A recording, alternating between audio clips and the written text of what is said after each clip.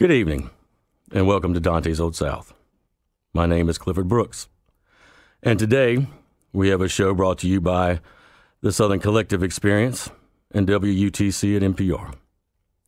On today's show, we have another interesting lineup of personalities poets, painters, sisters with a screenplay in the works, and a local producer and director with a film that's all about Chattanooga. Before we begin, I would like to read a poem from my first book called The Draw Broken Eyes and Whirling Metaphysics. And the poem is We Heave Up Like the Night. It's snowing, our reflections stained, captured in clean puddles. We came down tonight like resurrected clerics who followed hypnos above city lights to skip time. Physics bends as we have seconds slow. Strangers are left to window shop. A Desdemona nocturne, the new LA woman. She's singing like Nina Simone. Sashaying conspiracy of lyrics and lace. The lady rattles my teeth. Who we were has been misplaced. The sticky fusion fuels our need to be alone. So alive, compressed through my spine, she becomes home. Candlelight, anguish, velvet midnight, the early morning hard love and smallest mouth. Palms held out with threaded fingers. We hear the vapid mob. We heave up like the night. I know you'll enjoy this show. And again, thank you for joining us. We have true Renaissance lady, Mrs. Cheryl Taylor. How are you doing today? Very good. Thank you, Clifford. Now, I like to jump in with both feet. So, why don't you tell us a little about yourself and what moves your life? I think family moves my life. Um, I'm British, obviously. Um, from the accent, I moved here about 22 years ago and became an American citizen. So we could say that I choose to live here. Um, back to family, um, I have my feet in two worlds. I have a British world and I have an American world. Um, they don't unite very often, but I suffer from homesickness for both places. When I'm in the UK, I miss the US. And when I'm in the US, I long for home as such and it's a place you cannot name. Is that what you try to capture in your writing? I, I do reminisce and I try and lilt the story to something that's tangible as an emotion. Um, we're strange as humans. We have foibles that we don't notice in ourselves, but which I witness, I think, as an observer. Um, I've always observed, I've always been a, a chatty person, but at the same time, I think I see people. Yes, I do what you said. Yeah. when you when you see things, we were, we were talking about this earlier at lunch, and it, it, it piqued my interest in, in your further opinion in the ethereal nature of what we do. There are things that we see, they're concrete people, places, or, you know, in our travels, the voices that we hear, but there's something outside of that that, that strikes you that you don't know where it comes from. Mm-hmm. Um, tell us about that in your life, that, that ethereal portion. Well, when I was creative in the format that I'm a wedding dress designer, um, which was my first career as a creative artist, I found that there were moments where you set it up with fabrics, the person that you were designing for. Um, you'd got all the materials around you, and then you would set forth to create. And I could touch something that you might call a spiritual place, but you are totally connected to the universe. And in that moment, time stops. You drift into a creative, it's perfect. It's the only way I can describe it. It's extremely light and um, uh, it flows, the creativity flows, and you're able to produce something that transcends the normal. and you and you can be surprised by the outcome of what you've created because you didn't imagine it quite that way. Now those moments are rare, and so for the most part, you turn up, and creativity and creative work is hard work and requires skill, patience, and craft. But we all aim for that where we get into the Gulf Stream of creativity. You said something as well about um, that you're you're you're not born with the talent. With how where, where did that how did that culminate? As far as you're you're not born, the, the divine fire comes with you, and you had a way that you said it. Yeah, I don't think you're born creative as such, but what you have are gifts in form in forms of eh, something will stir a passion from within, and that will motivate you to turn up to create. Now, there are times when it, it feels like a barren desert and nothing will stimulate creativity. But I find words, words will absolutely move me to want to add another word, and I will experience something and witness a leaf on a tarmac, and it will look like a leaf of a uh, sorry a, lip, and I will think to myself, that's I need to write about that. And why is there a lip on the ground? What is the leaf telling me? And and I will start flying, and the synapses will create. Now another time I'll walk past and I won't do any of that. I won't collect it. It'll mean it won't stimulate anything. So it's hard to say about whether you're born naturally creative. What I will say is, I think things are learned. Craft is learned. I think um, there are people who are genius, but you ask any of them, they will have done that thing of 10,000 hours. They will have repeatedly painted something. They would have turned up to the sunset. They would have researched something. So, yes, you can have a natural creative talent, but real creativity requires you to turn up and work. Because that's work is not a nasty four letter word. I mean, it's it's a part of the of the craft, and I think that you know many people think that it and it does come from the ether, but to put that down, and whether you're making wedding gowns or poetry or writing prose, um, you also paint and do pottery. Um, to to get that that idea, that epiphany down, that's hours and hours and hours of, of labor and error and getting it right. Well, isn't it like luck? They say is when that meets hard work. You know, where you put the groundwork in. I remember having a vision, and it was visceral. You know, that thing of such a lucid vision in my mind of something that I wished to create. And the disappointing thing is that, you know, I turned up the next day to create this guardian um, vision that I had. And it didn't go the way I wanted it to go. But I continued to work through the day, rolling out clay and painting. And you put things into the kiln, and an alchemy happens, glazes rise, and colors emerge that you didn't know would be there. And a quiet piece that I'd made at the end of the day was the one that seemed to carry the context of the vision that I'd had the night before. So turning up and working and being disappointed but continuing to work, I think sometimes can take you to a place that's even more because you bring yourself to it. It's not just an imagined um, art or a, or a finished product. Right. I mean, I'm always playing, when I paint, I'm always playing with light, um, trying to get depth, trying to get um, a three dimensional aspect to a painting. I start off quite loose and um, very abstract, and yet I can end up with a quite a realistic picture.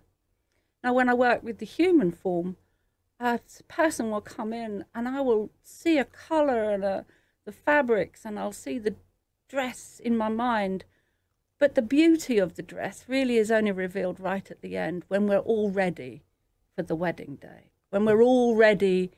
And so, I, all creative um, projects are a journey. So we start, we take one step, one stitch, one paintbrush, one word. It's only when you have a finite date and you know the object always tells you when it's finished.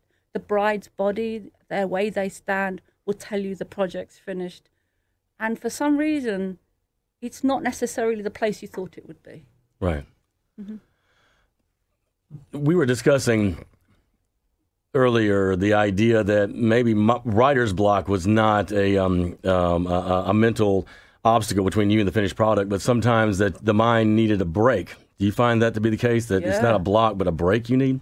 Yeah, I find that can happen quite often. People can cause you to block, and I don't mean um, that in a you know, they're nasty or something.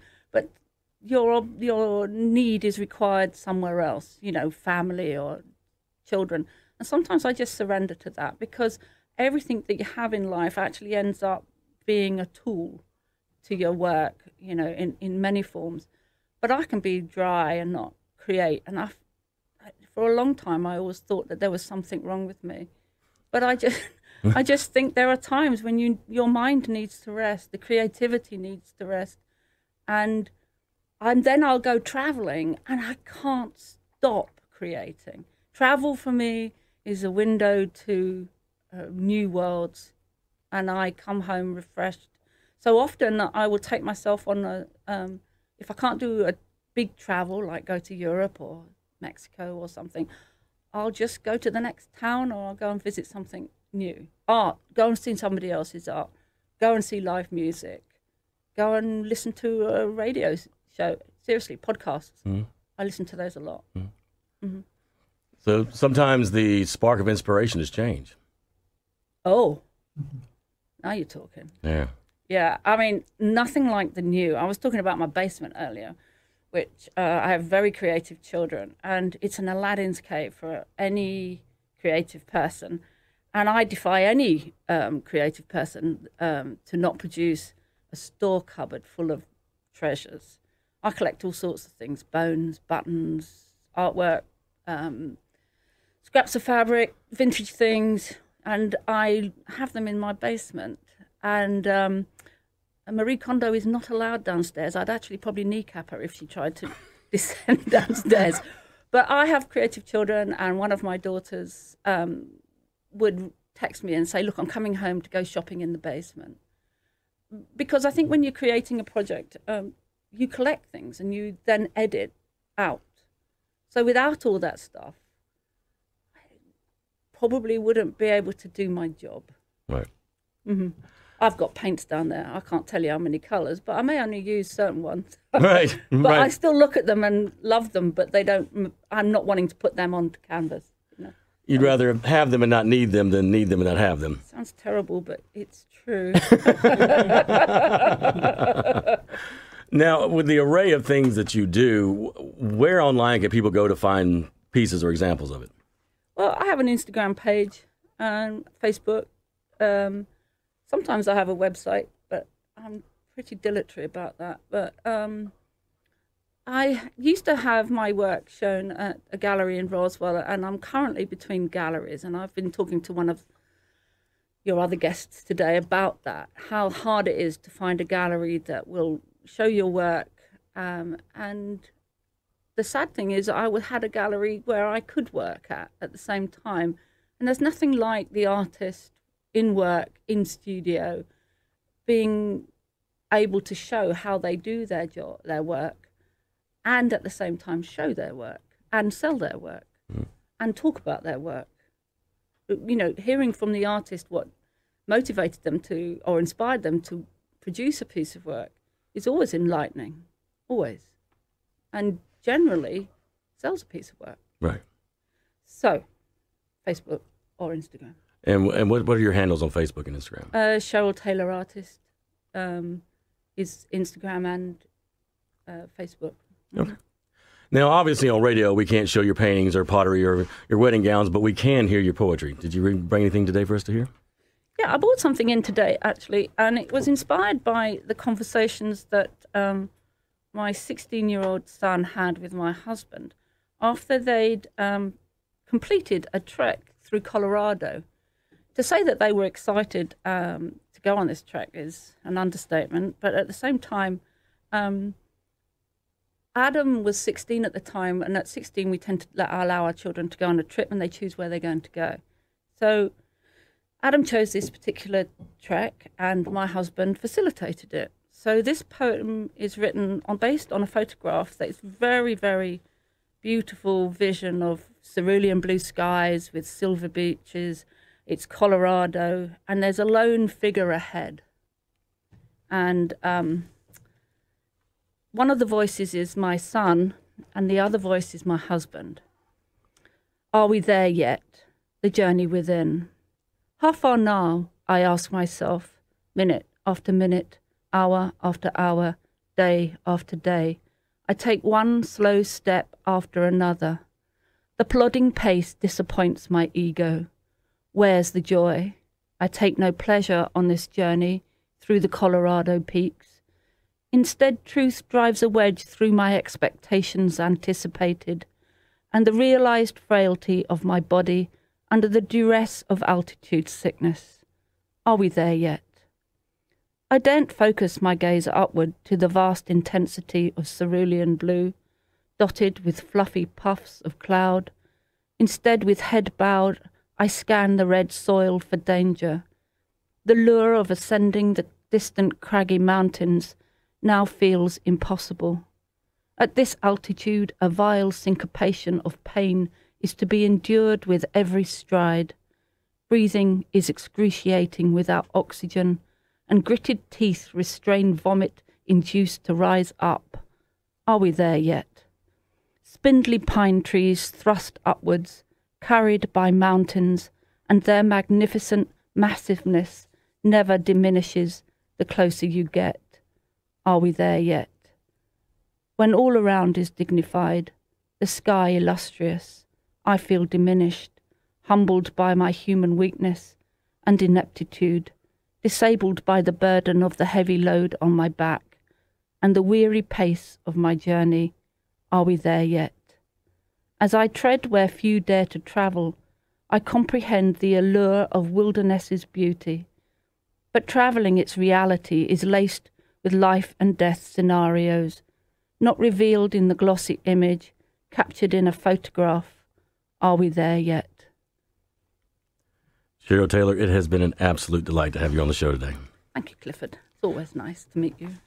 yes, ma'am. And second up to bat, we have French expressionist Isabelle Gautier. How are you doing today? Good, thank you. How are you doing? I am just fine and dandy like sour candy.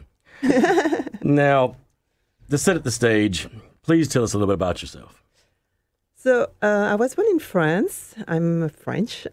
I was born in Normandy, uh, west of France. Most people know that place. Uh, I met my American husband when I was in college. We moved to Paris and I lived there for seven years. Uh, went to the, I took some class at Les Beaux Arts, École des Beaux Arts. Uh, we moved to south of uh, France, and in '99 I moved uh, my two kids, my two sons, and my husband to Atlanta. So it's been 20 years pretty soon in May. Um, I'm, um, yeah. You're doing fantastic. You're doing fantastic. Now, in all of your travels, um, your experiences in life from Europe to America, tell us about your art and how all of that came into your process. Yeah, so I think it was always in, in me, you know, it's, uh, I've, I've always been attracted by creating or seeing things differently or transforming things and using them for something else. And so I took these uh, art classes just because I liked it, not knowing what I was going to do with it. Uh, and when we moved to the States, I um, just naturally took a canvas and uh, began painting. And um, I liked it, and people asked me to you know, paint for them. And from there on, I, I became an artist, I guess, and uh, had my uh, own um, business. And what I like is um, expressionism. So it's, uh, it's, it's, it's, that's what corresponds to me. I can't really paint real, and you know, that's not me. Did you feel? I mean, it's been a topic of whether you can choose to be an artist. In your case, was it something that, that the divine fire was in you that you that it was to be an artist? It's not that I chose. It's that you know when I began painting, it was really something I liked doing. So at one point, when you have like 10, 20 canvases in your room, you need to sell them because you know you, you get you need money to buy some more canvases. so from that, you know, I okay, I have to sell them, you know, and find galleries and everything, you know. So then it happened like this, just because I wanted to keep doing my hobby at the beginning, you know. that leapfrogs us directly into the next question. Tell us about your art. So my art is um, it's it's a personal path. It's not art for art. It's not art to sell, really. I mean, obviously, I want to sell, but it's really me becoming. It's me uh, finding myself and getting in tune with who I am. Um, and uh, you know, I'm I'm empty nester now, so I have both time for myself again, and um, I kind of have to find myself again. You know, so it's even more true now. You know, I mean that the kids are gone. So painting for you is is the discovery of yourself. Yes, and it's a discover discovery. Yes, but um, you know, I kind of know who I am, but really getting and doing what is important for me, what is gonna help me go where I want to be in my life. Right. Um, you know, I'm, I'm fascinated by energy. And when you think about energy, uh, you think about movement and, you know, the activities. But actually, I'm passionate about energy into, you know, energy that you find into silence, into something that doesn't move. There is a lot of energy, and that's like something interesting for me. Now, from from there, uh, from the, the freedom of it to maybe some of the, the the walls you have to get over or barriers you have to break through, what have been some of your biggest challenges as an artist? Um, well, one of the first one was really you know, when people were asking me who I was or what I was doing, was just just to tell them I was an artist. You know, just saying that was so hard for me because it was not a tag I was, you know, wanting to put on me. I mean, I thought it was like full of aura and full of meaning, and I'm like, okay, maybe not, you know. but um, that was the first one. But now it's more like you know, knowing how to present myself and. Uh, um, present my art and going to the market and everything. You know, it's very hard. It's um, because it's it's not the same side of my brain which work. You know, when I when I paint, you know, it's like business side and then the the artist side is not the same side, left and right. You know? And we were talking to Cheryl Taylor just a moment ago, and she actually alluded to you in this next question. Um, the difficulty in, in getting your artwork into galleries and on the market. Um, how do you do that? How do you get your art on the market? Uh, you know, it it there. Um, I don't know. I don't have one way of doing it. You know, uh, sometimes it's uh, galleries you know, and the owner might be kind of a friend, or you know, so that that helps. Uh, sometimes it's um, a, a referral from another artist and some other time is like you know really work. Uh, you do some research, uh, and you go and ask for an interview, um, meeting, and uh, you send your bio, you send your resume, you send everything. That's a heavy way of doing it, you know. Right. But uh, yeah, it's tough. It's tough. Where's your next show? My next show. Um, so I have one at the end of the month and it's uh, fundraising for private school in uh, Atlanta. Uh, it's uh, the school Trinity School, private school. The show is named Spotlight on Art. It's been happening for 35 years. I think it's like one of the you know best show in the southeast. It's an art market, artist market, art market, and I've been doing it for yeah um, five six years. So that is the next one. And then I have one right now in Alpharetta. It's at uh, AC Studio on Main Street. It's a solo show. And I'm going to have on February 8th, I'm to have a a Meet the Artist event. So if you want to come, AC Studio, Alpharetta. And then uh, I might have another uh, sort of show in my gallery in Birmingham in April. All right. All right.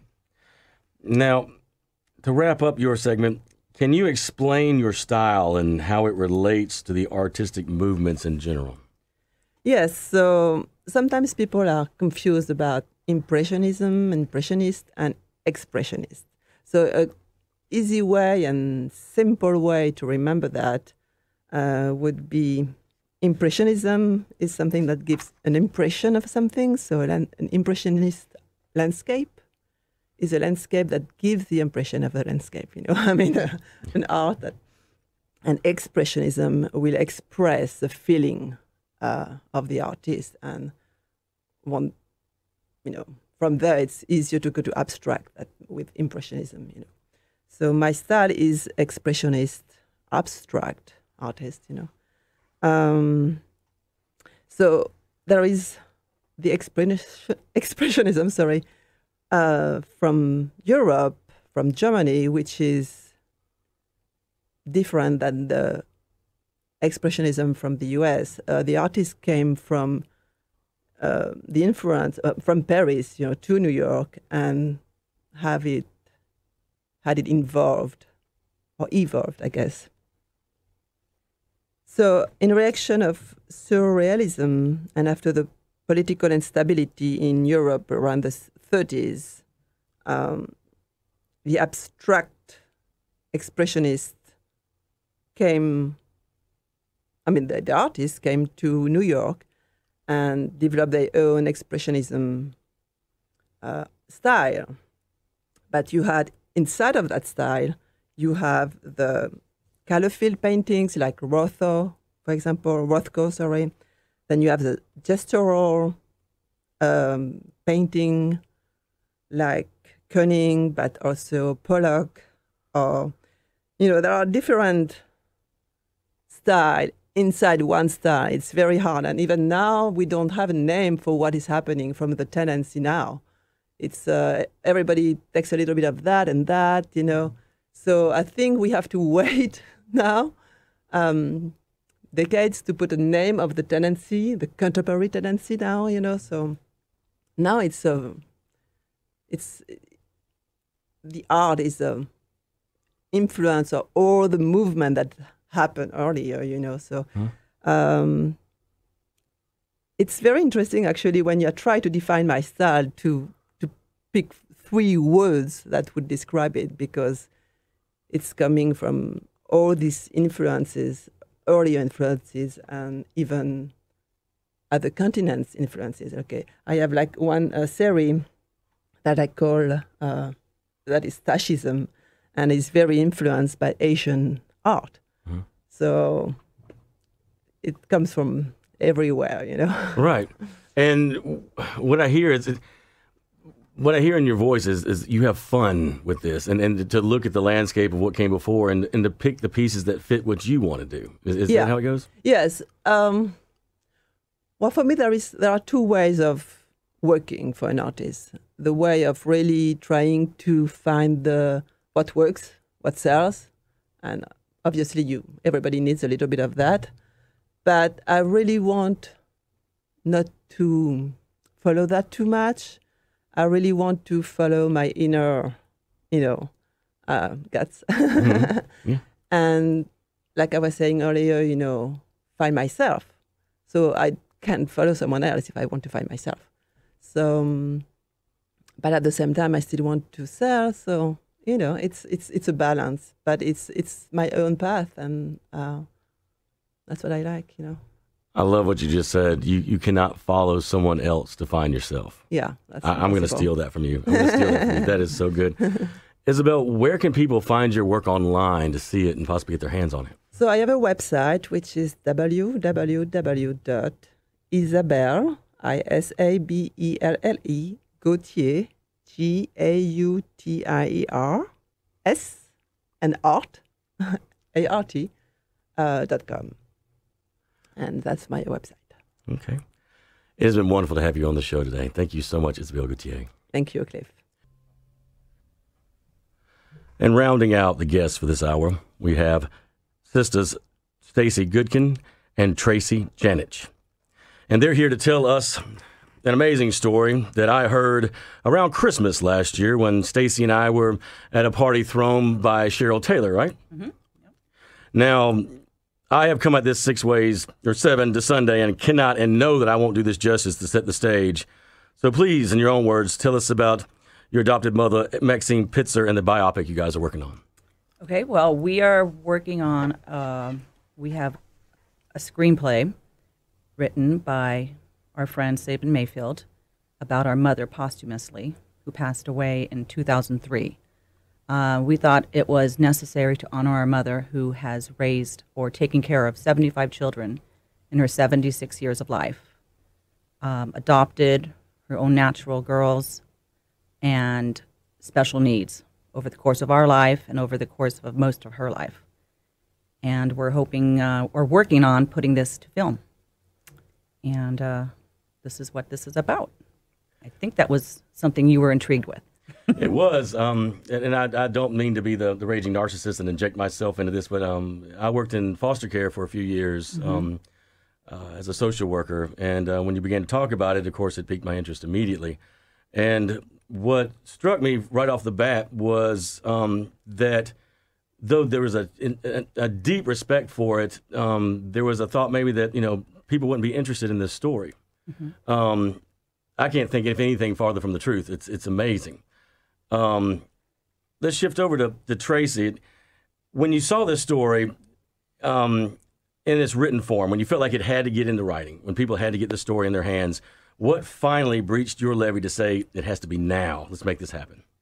Uh, well, with our family, our large family of eight brothers and sisters, lots of nephews and nieces, everybody wanted to be able to portray Maxine Pitzer's story.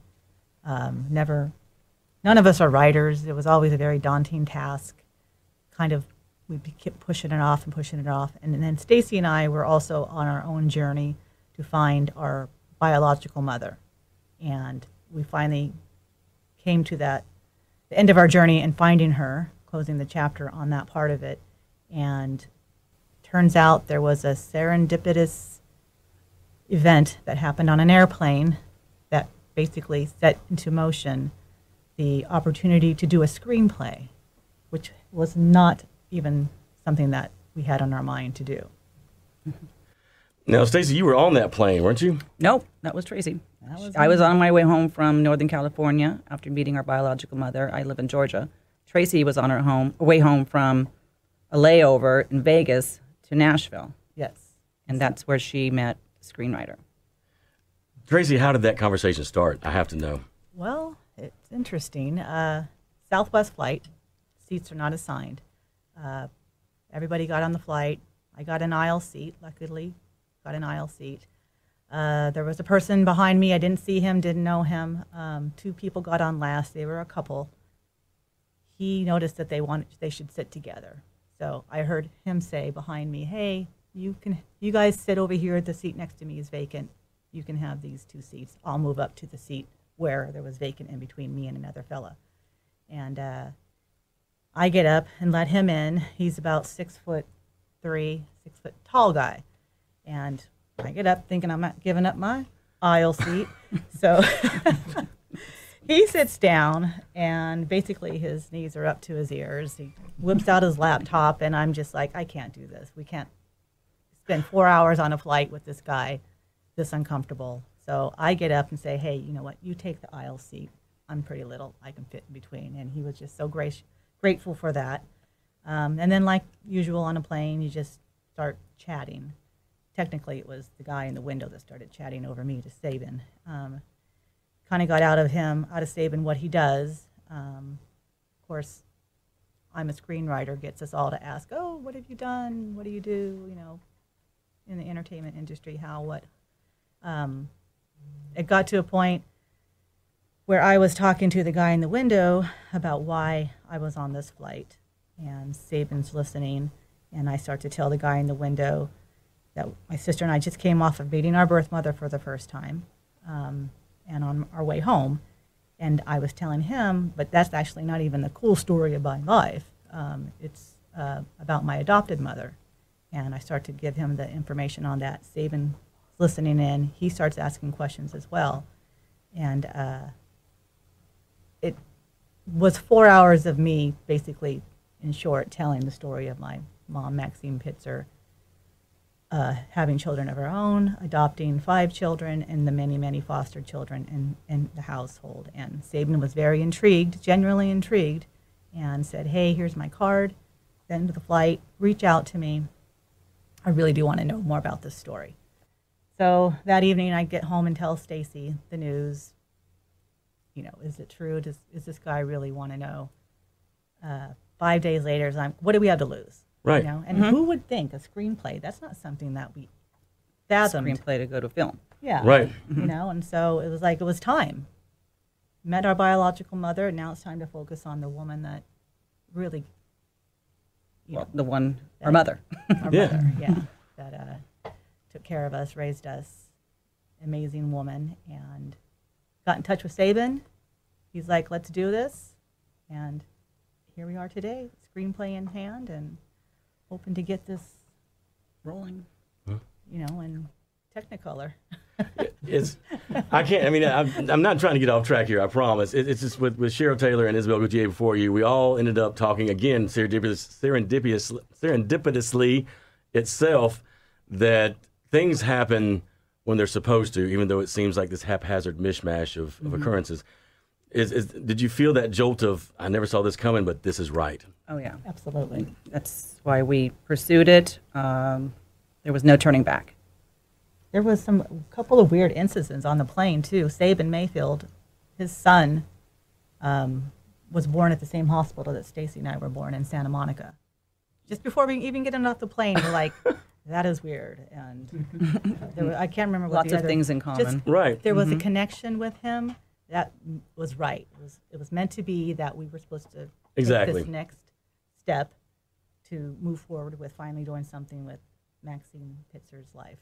Did you ever feel that when you told this story, people would say, "God, you're making that up"? There's no oh, way. Oh, he did. Sabyn, Sabyn thought we were making it up. Now you said his name a couple of times. Um, what's his name? Sabyn Mayfield with hmm? Stayfly. Um, he is in the midst of two films right now. He had a feature film, um, Boomtown, Right. and he's done some documentaries, and he's working on two films now that are in the works, which you can find on IMBD. Sabyn Mayfield, S A B Y N Mayfield. Yep. He's from Tennessee. He now lives in LA. His mother is in LA, also in the entertainment industry. Um, so, you know, we found someone legit. Right, right. now, with all the details here, um, there there had to have been an, uh, just an enormous amount of emotion involved. Stacey, how vulnerable did it make you feel to to get this out in the open? Uh, well, we had to go back to a lot of memories. Some were tough. My uh, father divorced my mother when we were young, us being the youngest in our family, and that left my mother with a lot of responsibility, which also left us with a, a lot of responsibility. Uh, but she she was she ha- had her wits and her strength, and she got us through our formative years, teaching us all about inclusion, not exclusion. Um, we're all parts, you know, unknown, but we all became a part of one big machine. And coincidentally, my mom's nick- nickname was Big Mac. So, so there was uh, there wasn't any time to focus on our differences because there were differences. Um, there was race differences because my siblings and I and our siblings were different races. Um, our color, the disabilities of the special needs kids. No time to focus on any of that because we were running a household, running a nursery, a nursery of foster kids, and um, large variety of animals too. But that's another story. Tracy, and yeah, Um, well, I don't know if we actually did mention uh, that the foster children were actually mentally and physically handicapped. These weren't normal foster children. These were people with disabilities that couldn't get themselves dressed in the morning, fed in the morning, give themselves baths. Um, and considering the number of children that came in and out of the house, there were some with, with some really bad health issues that there were actually a couple of kids that passed away in the home that we lived in. So dealing with those tragedies too. Um, my mom being the one that was definitely the one hurt more because we were so young, but we were a part of it, and so uh, she had to. She not only she had some loss in her life of babies with miscarriages, but also had to go through more loss with these foster children that she was taking care of, and the animals. Yeah, but continued with no self medication. Right. In her years, she was a person who needed to remain lucid at all times. She could hardly take her blood pressure medicine when it came to it because it didn't make her feel good. So she she did this all without the help of anything extraneous except for people.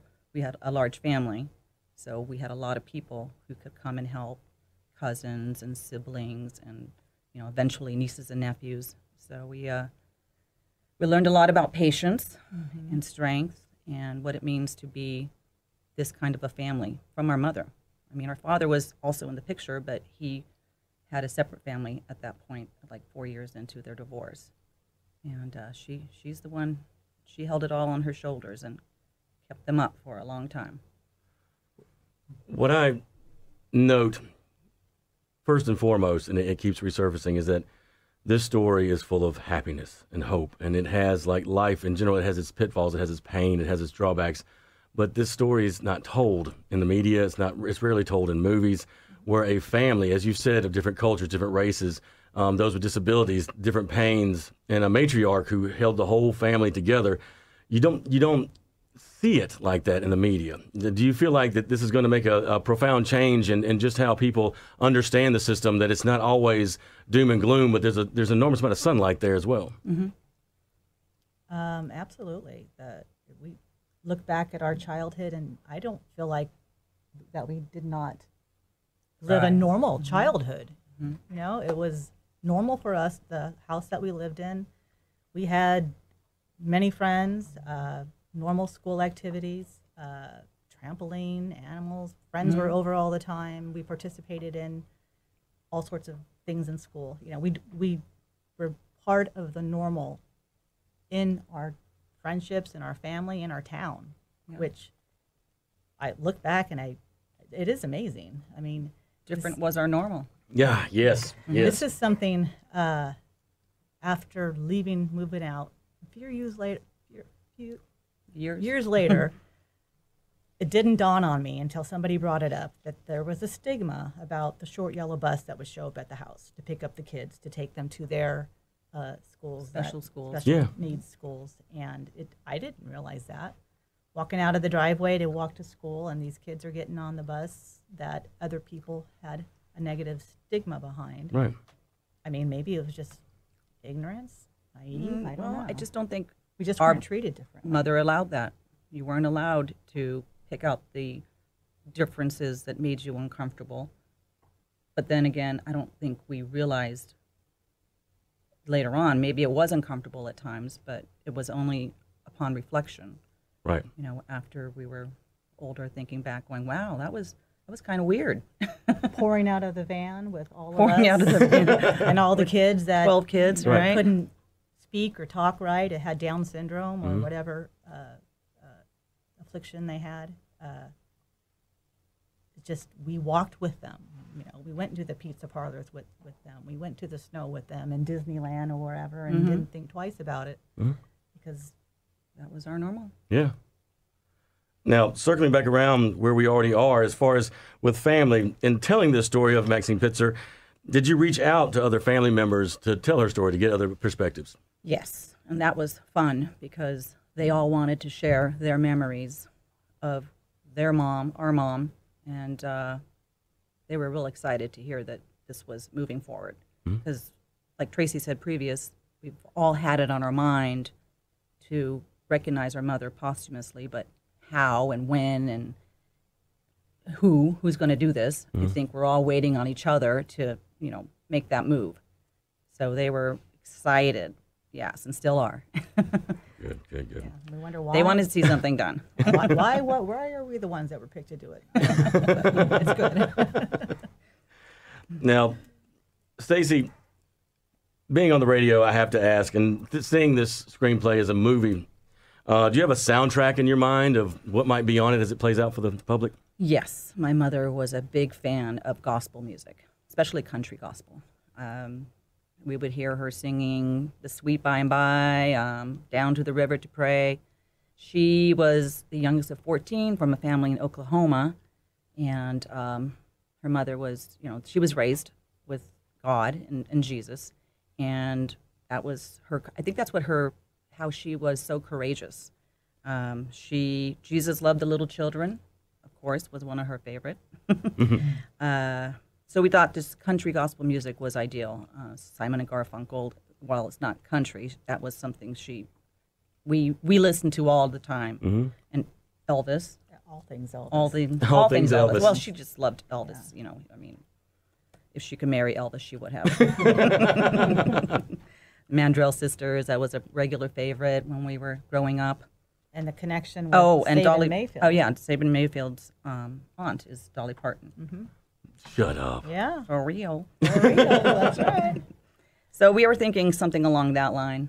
All right. You know, something that we could imagine our mom listening to and Grease. Hmm? Remember, she loved Grease.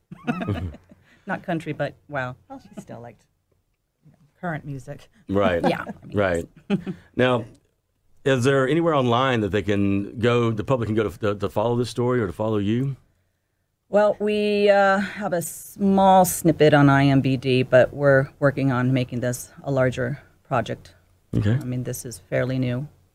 We do have a pitch deck in place, so Right. that way we're ready to Forward pro- that. provide this to anybody that does have interest. Um, start to get somebody who wants to produce it with us. Um, Sabyn's working on that, of course, because he's the expert in that on that side of it. But we're definitely producers too on this. Well, thank you so much, Stacy Goodkin and Tracy Janich. Thank you for having me. We were going to have y'all back on in due course as soon as something pops up um, in the story because this is something that we need to follow through with. Yes, we do. Looking forward to it. All right. Going to have some Thank good you. news. Yes, you. Thank you. Thank you again for tuning in to Dante's Old South. My name is Clifford Brooks. And before we close, I would like to give a special thank you to the Woodbridge Inn in Jasper, Georgia, and to remind everyone that in, on March 9th, 2019, the Southern Collective Experience will be putting on a workshop and lecture series called Living the Creative Life. If you're interested, it's just a short drive away in Canton, Georgia, and the website is www.southerncollectiveexperience.com. God bless you all.